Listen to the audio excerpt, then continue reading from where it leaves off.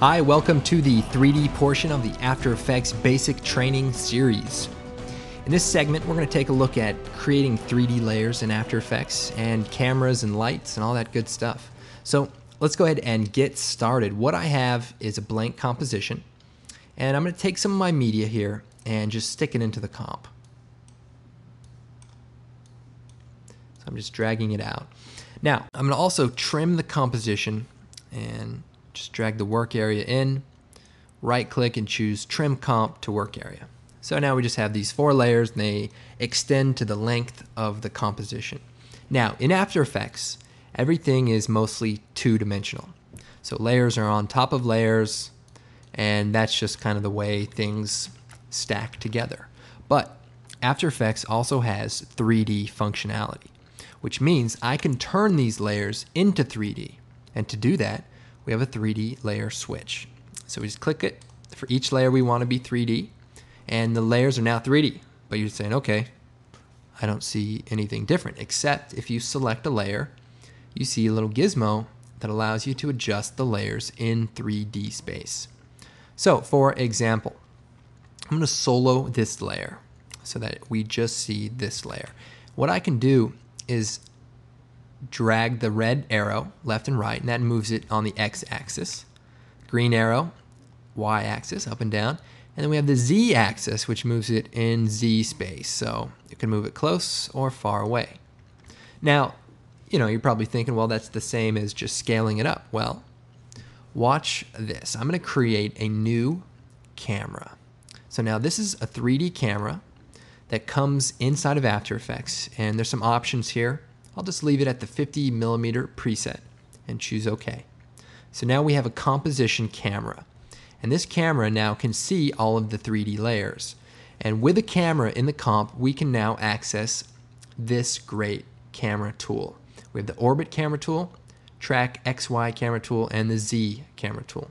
Now the orbit camera tool allows you to click in the composition and drag around, basically flying around the objects. Now we have the track camera tool, which allows you to move past stuff. I know it looks like I'm moving the layer, but I'm just moving the camera. And we also have the Z camera tool that allows you to kind of push in close to the layers or pull back far away. Now, what can we do with our 3D layers? Well, let's arrange them in 3D space. So I'm going to scale it down.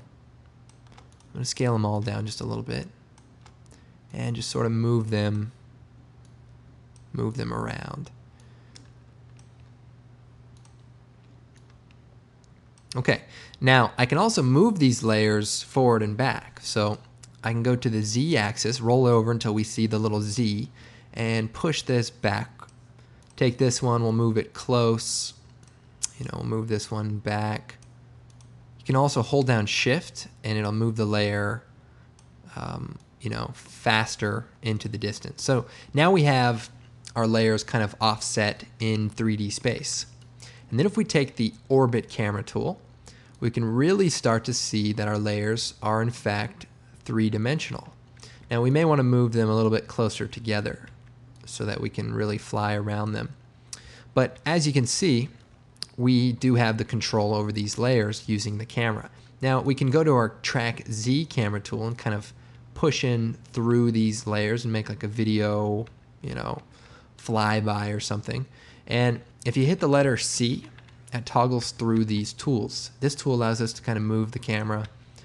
This one moves in, you know, this one flies around. Now, we also have access to so many more functions now that we're in 3D. For example, right now we have the active camera. Well, we can also change this to some preset views. For example, we go to the top view and see what these layers look like from above. So you can see we can move these around, you know, maybe make them closer together or offset them, you know, a little bit easier from the top view. You can see now our layers are a little bit closer together and we can, you know, animate this. For example, if we go to the camera, bring down the transform properties, we can keyframe the position of the camera go to the beginning here, set the stopwatch for the position, move forward, and then X, Y, Z. Z meaning forward and back, and we can move the Z to a higher value And then if we play this back with the RAM preview,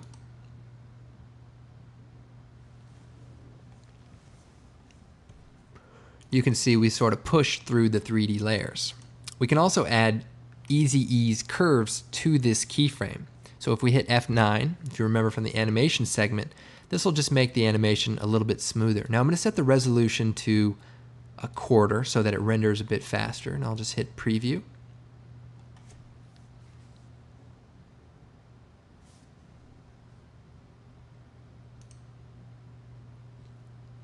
So there's a pretty simple 3D animation. Now, there's a lot more we can do. For example, I'm going to create a light. So I'm going to choose Layer, New, Light. And here is our light dialog. We can make a spotlight, which is a light that points in a direction. We can make a point light, which is sort of like a light bulb that just illuminates out from the center, and an ambient light, which you don't actually see, but just slightly brightens everything up depending on how bright you make it. Now, I like to use the point light for, for most things. And there's an option to cast shadows and to change the color of the light. So let's make the light color blue and we'll turn the cast shadows on. And then I'll choose OK. And so now we've created a light and that's what the light looks like. And our light can also be moved around in Z space. You can move it forward and back, bring it up, up high, and we can also change the light properties by choosing layer light settings, you know, and go back in and say, well, blue is a little intense and change it as needed. You can also bring down the light options and you're going to see you can again change the settings. But what about casting shadows? I turn that on, but nothing is happening. Well, layers also have to be told to either re receive shadows or to also cast shadows. To access 3D options for any 3D layer, hit AA twice, the letter A twice. And you bring up the material options. You can also just toggle down and you'll see it right below the transform option. So we have our material option. So cast shadows is off. Well, what if we want that on? Now, more importantly, what if we want that on for several layers? Well, we can do it for each layer, turn it on, go to this layer, turn it on, you know, etc. But if we select a bunch of layers, hit AA, turn cast shadows on, it turns them on for all of the layers. So let's put this light into a position to cast shadow. So I'm going to bring it forward, and now you can see a shadow is sort of casting right here. And I'm going to shut these layers off for a second. And then we're going to move this layer around, and we'll push it back closer to our other layer. And I'm going to move my camera in a bit, and we're going to orbit around so we can see this. So our light is now casting shadows. So this layer is sending shadows to the background layer. Now we can go into our light options. AA actually brings up material options for any 3D layer. And we can turn the diffusion for the shadow up. And if we're tricky enough, you can see that the shadow now is soft. And, uh, you know, that's helpful. Um, we can also bring the darkness of the shadow down if we just want it to be a slight shadow. So as you can see, lights and shadows and 3D layers have a lot of different uses. But let's go ahead and delete the light, go to our camera, reset the camera position, and then go to our two layers and reset their transform position and reset. And so now everything's back to its default level.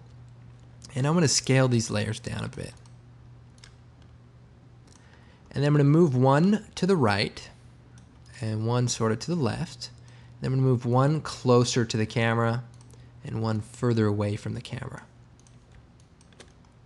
And what I'm going to do is go to the camera settings, bring down the camera options, and turn on the depth of field. Now the depth of field is basically the function that allows you to simulate a real camera lens where you have a focal plane, where something is in focus and something further away or closer to you is out of focus.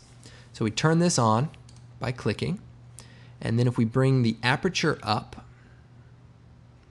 make it larger, you'll see that everything is going out of focus, and that's because our focus distance is probably right in the middle of these two layers. So I'm going to take my focus distance and move it. So you can see we can focus on her or we can focus on the front layer. Let's see, we can adjust these layers. So if we slide the focus distance, you can see we can kind of move between these two.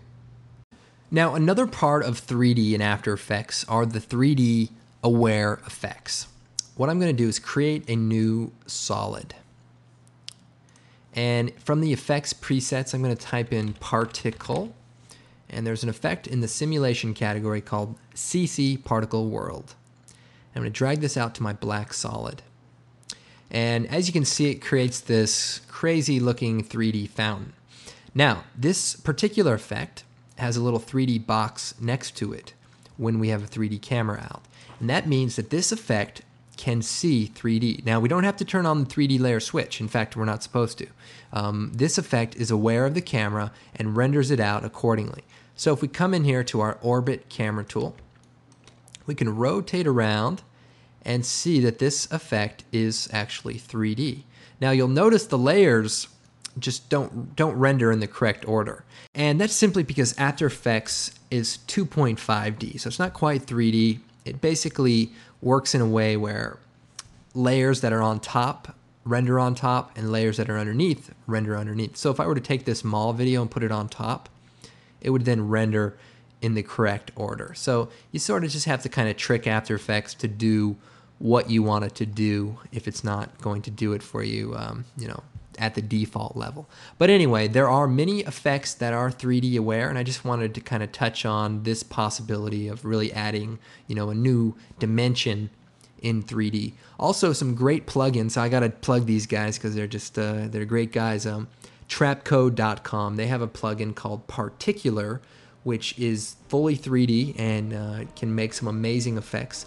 They're also working on a new plugin that should be out by the time you're watching this, but I don't want to say too much about it. Needless to say, uh, check out their uh, their plugins. They're really great for After Effects.